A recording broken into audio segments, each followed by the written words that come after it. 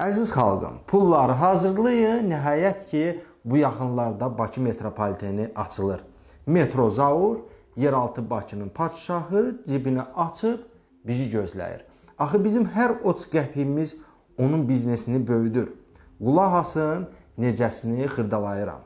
Bax sən, vətəndaş, sən istəyirsən ki, övladın ağ günə çıxsın, yaxşı təhsil alsın, düzdür? Evi eşiyi olsun, malı mülkü. Yəni başqaları kimi. Bunun üçün gecəni gündüzə qatıb işləyirsən. Bir də baxırsan ki, heç yaşaya bilməmisən. Elədir? Amma elələri də var ki, pul para onlar üçün göydən yağır.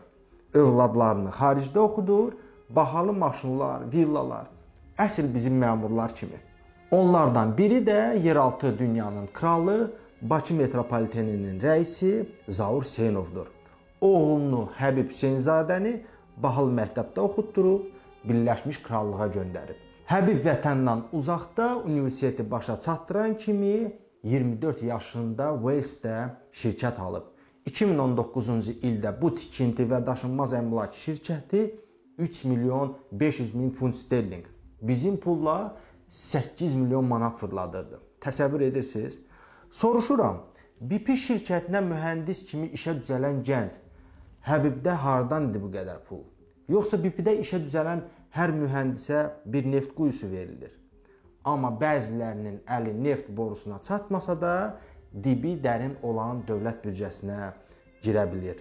Hə, bax elə o dövrlərdə Həbib Edinburgh Universitetini bitirən il 2014-cü ilin fevral ayında prezident İlham Əliyev onun atasını Bakı metropoliteninin sədr vəzifəsinə təyin etmişdi. Bundan qabaq isə Zaur Hüseynov Azərişığın sədrinin birinci müavini vəzifəsində işləyib.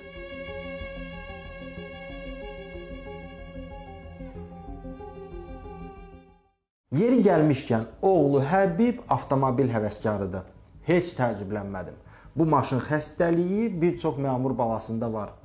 Həbib bu yaşında artıq hələ mən bildiyim iki bahalı maşın sürür. Biri Chevrolet Camaro, o birisi isə Audi S7.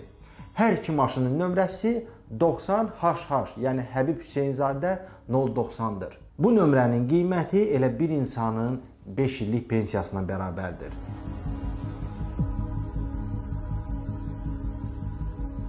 Zaur Hüseynovu burada qoyub Bakıdan İstanbula gedək.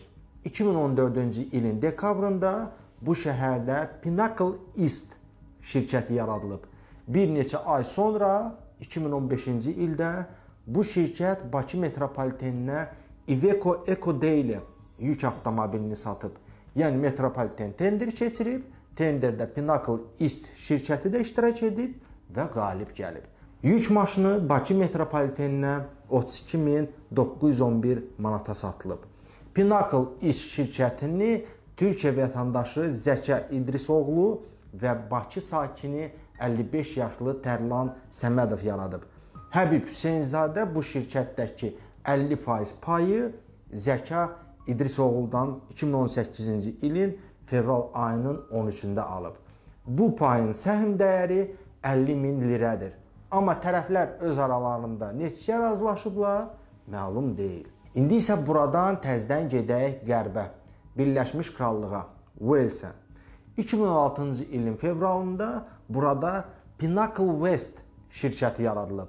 Həmin ilin oktyabr ayında isə şirkəti Həbib alıb. Biraz qarışıq oldu, elədir? Ümumiləşdirək. Deməli 2 Pinnacle şirkəti var. Bu söz ingiliscə zirvə deməkdir. Bir zirvə Walesdə, o birisi isə İstanbulda. Bu şirkətlərin hər ikisində Zaur Hüseynovun oğlu Həbib iştirak edir. Birində şərikdir, o birincisində isə tam sahib. Burası yəqin ki, hər kəsə aydındır. Amma bir neçə qaranlıq məqam var ki, onlara da aydınlıq gətirək. Birincisi 2015-ci ildə nə Pinnacle iş şirkəti yaradılanda, nə də Bakı metropoliteninə maşın satan zaman Həbib həmin şirkətin səhmdarı deyil idi. Pinnacle təsis olunandan təxmin 1 il sonra eyni adlı şirkət Britaniyada yaradılıb və Zaur Hüseynovun oğlu Britaniyada başqa şirkəti deyil, məhz Pinnacle adlı şirkəti alır. Bu alış-verişin üstündən 16 ay keçəndən sonra qəhrəmanımız Həbib Hüseynzadə Türkiyədə Bakı metropoliteninə avtomobil satan şirkəti tapır və onun şəriki olur. Bu qədər təsadüf ola bilərmi? Çətin məsələdir. Elə deyil? Yəni məntiq onu deyir ki, 1. Türkiyədəki şirkətin bir ayağı Bakıdadır, daha dəqiq desək, Zaur Hüseynovun həndəvərində. 2. Birləşmiş Krallıqdakı şirkət yaradılanda ona Pinnacle adı təsadüfən verilməyib. Şirkət Həbibə ötürülmək üçün yaradılıb. Pinnacle East Türkiyədə, Pinnacle West isə Walesdə.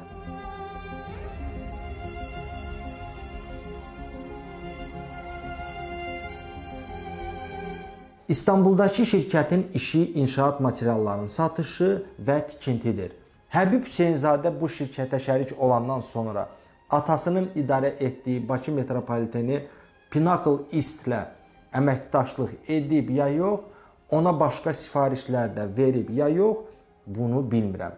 Çünki bizim qəpik-qəpik metroda turniketdə ödədiyimiz dövlət büdcəsindən ayrılan 100 milyonlarla manat pulun hesabatı tam verilmir.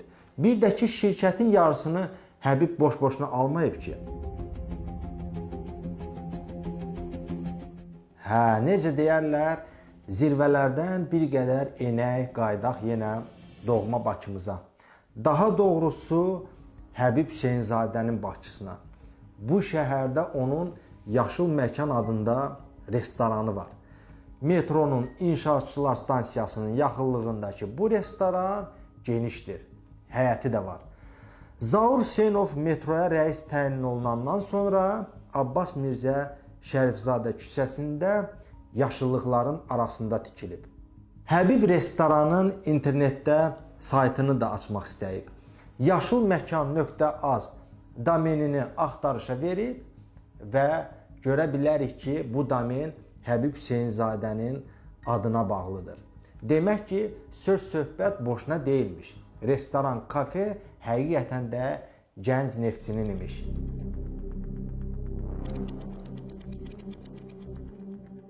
Əziz dostlar, metro tağı vəzifədən gedəndən sonra məlum oldu ki, MTN-ə 3 milyon manat dolya verib. Bu yolla da metroda vəzifəsini qoruyub saxlayırmış. Və bunu açıq surətdə mən e, etiraf elədim və məhkəmədə də dedim, məhkəmədə də dəxazat elədim. Bəli, e, bu Çovdarovun işi deyildi. Bu Eldar e, Mahmudovun göstərişi ilə olan işidir.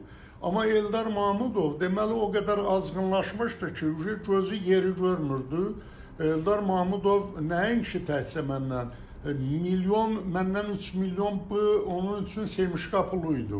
Bəs görəsən Zaur Hüseynov öz milyonlarını necə qazanır və vəzifədə necə toxunulmaz qala bilir? Necə deyərlər, yerin yox, yerin altının da qulağı var.